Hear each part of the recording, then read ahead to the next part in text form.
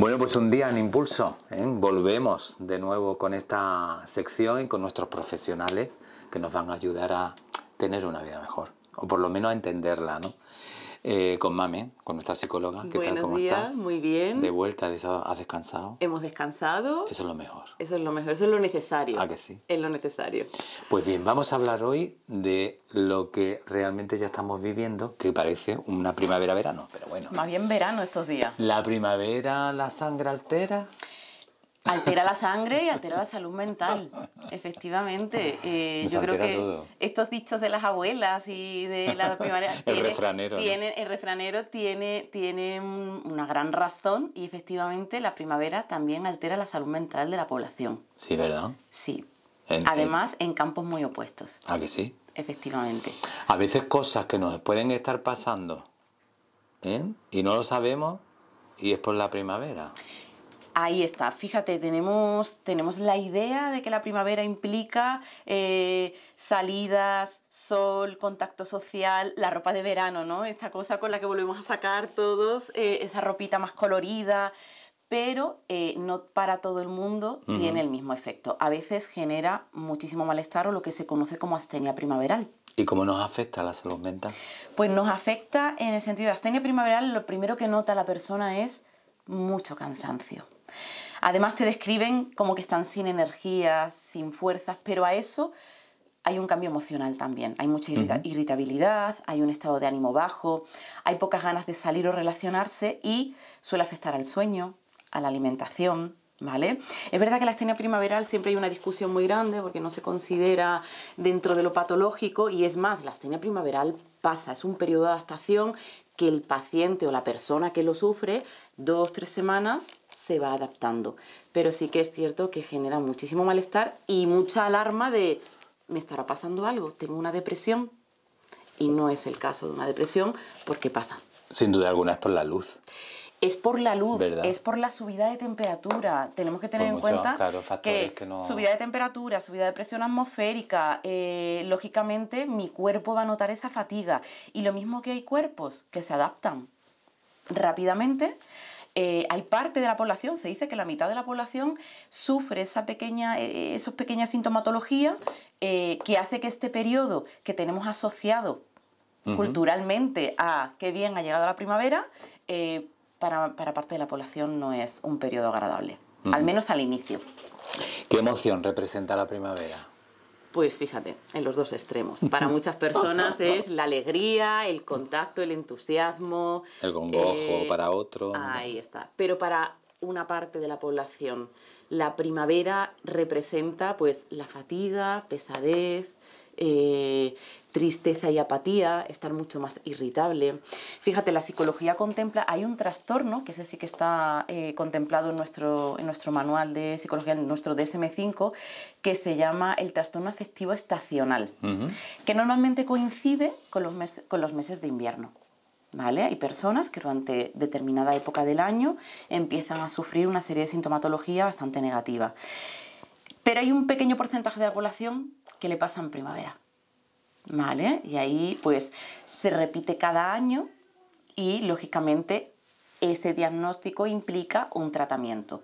Pero que no hay que confundirlo con, con la astenia primaveral, que es más pasajera, que lógicamente causa malestar, pero que poco a poco, digamos como que el, el sujeto entra en equilibrio porque se adapta a, pues a estos cambios de luz, de temperatura, de hábitos, porque cambiamos los hábitos eh, cuando llega este totalmente, claro. Entonces, Pues fíjate tú, ¿no? Qué contradictoria. Estarán pensando mucha gente, ¿no? Porque dice, hoy la luz, llega las ganas de salir, que no sé qué. Pero ¿por qué se deprime más la gente en primavera? Si, nos, si tenemos en cuenta un dato muy importante y es que nuestro cerebro es un boom de sustancias químicas, ¿vale? Entonces, Ebullición a tope, ¿no?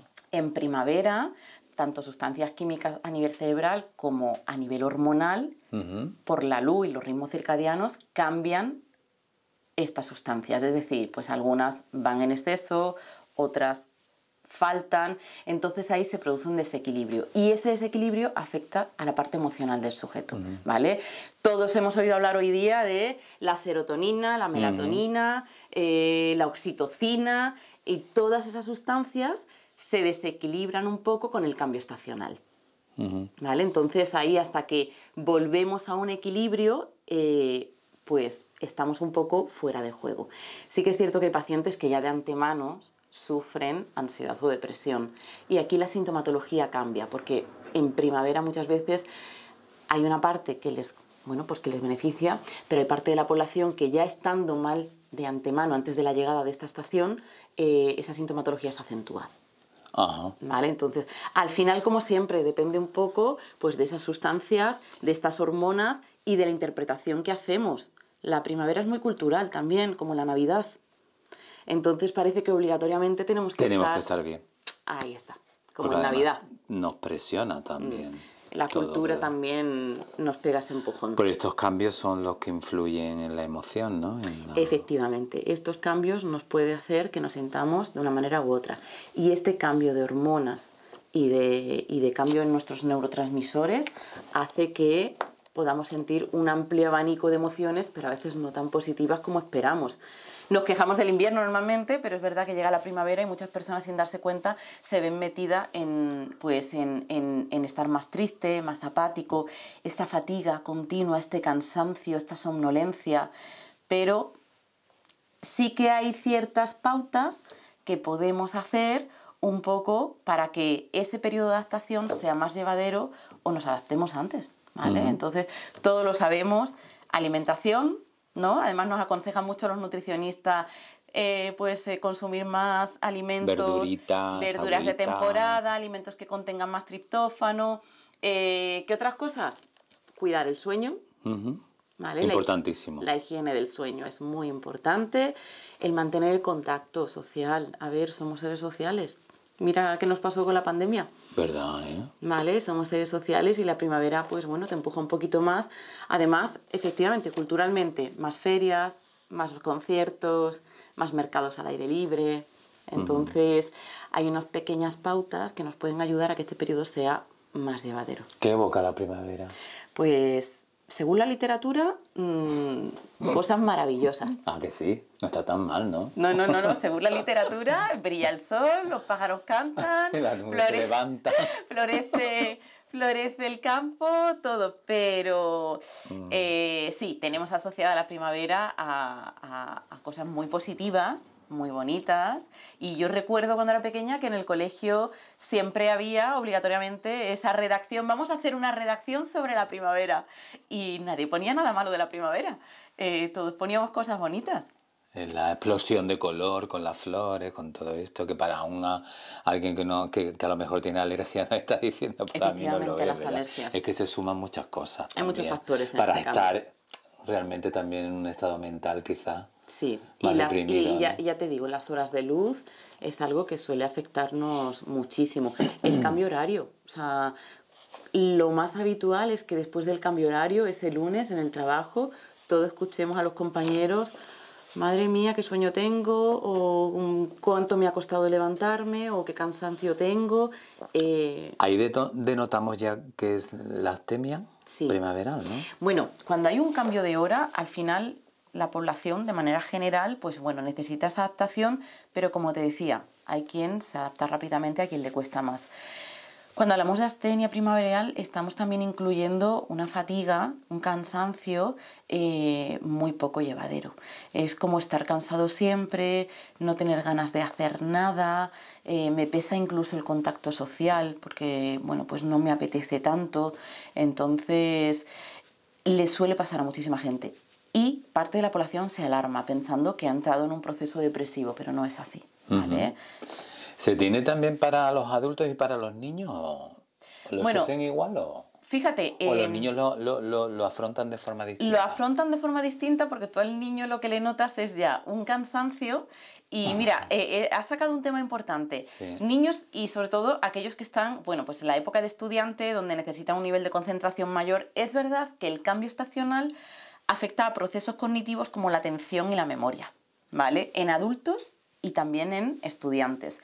Los niños, pues mira, yo cuando hablo con algún profesor, lo que notan en esta época del año es que están revolucionados. Totalmente. Dice, la clase ya no está en calma, les cuesta más mantenerse sentados, eh, pues bueno, están como más con un estado de actividad eh, a ellos les afecta de esta manera, ¿vale? Y a los estudiantes, es cierto, bueno, a todos nos ha pasado en un momento determinado, ¿no? Tienes que prepararte tus exámenes, pero fuera hace un día maravilloso. Cuestión de biorritmos, ¿no? Entonces el cuerpo no te pide estar eh, sentado en la biblioteca.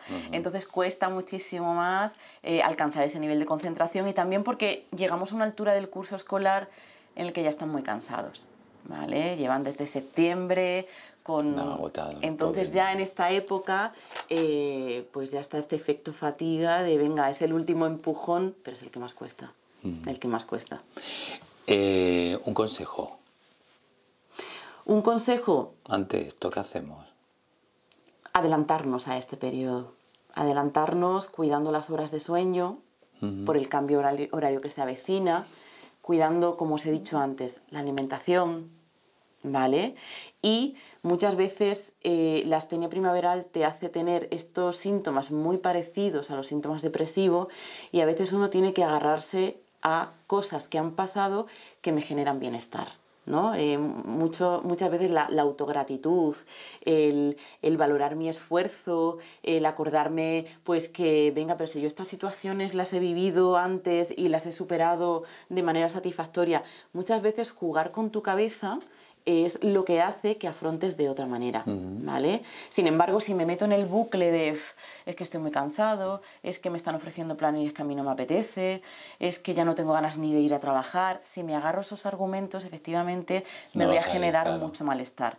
Entonces, es trabajar a nivel cognitivo contigo mismo y cambiar ciertos hábitos eh, de tu día a día, básicos como sueño, alimentación, contacto social, quien practique ejercicio, pues practicarlo, lógicamente no en las horas de más calor, ¿vale? Pero... ¿Y para nuestros niños mayores, como a mí me gusta llamarle a los ancianos?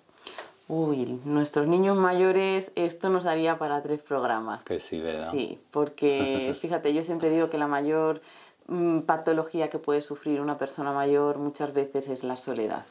Entonces, eh, hay ganas de estar fuera, ellos también lo notan, pero bueno, ahí hay un problema que, deberíamos ser más conscientes, lo somos, pero quizás no lo suficiente como para empujarnos muchas veces a, actuar y, a veces solo piden compañía, sea invierno o verano, primavera o otoño, compañía. Ah, y nos despierta la gana de enamorar, ¿no? sí, efectivamente influye en el cambio de la oxitocina, que bueno, es esa, esa hormona, eh, digamos, como más encargada de esta pasión, y la oxitocina también cambia los niveles cuando llega la primavera. Es más, no hace mucho leí un estudio que afirmaba que en primavera es cuando más se producen más niveles de celos y de infidelidades. La altera. o sea que estamos un poquito más activos en ese, en ese, aspecto, sí, sí. Pues un placer hablar pues contigo como gracias. siempre. Un placer también para mí. Vive muy bien tu primavera. En ello estamos, en ello estamos y... Muy rara la primavera que estamos teniendo, ¿verdad? No, bueno, es que es una estación ya de, verano, de verano, mm. pero, pero bueno. ¿Es la mejor estación, tú qué crees? ¿La primavera? Yo creo que depende de la percepción de cada uno. De cada uno, ¿no? Yo creo que depende. Hay mucha gente que el invierno lo ve como esa parte acogedora, efectivamente, acogedora. De todos modos, el ser humano muchas veces nos cansamos de todo. Cuando llega septiembre es como ya tenía yo ganas de que esto ya pasara y el invierno luego se hace largo. Pero qué bonito cómo nos afecta a todos, ¿no? Porque estamos viviendo. Pero qué bonito cómo tenemos la capacidad de adaptarnos a todo. Eso es lo bueno. Entonces... ser resolutivo, ¿no? La ventaja del ser humano, ah. adaptarnos a cualquier cosa. Muchas gracias y un placer. A vosotros, muchísimas gracias. Volvemos la próxima. Nos vemos en la próxima. Un saludo.